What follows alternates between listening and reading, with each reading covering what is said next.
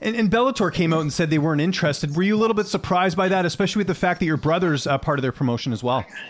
No, I, because I wasn't interested in Bellator. So okay, yeah, uh, it doesn't surprise me.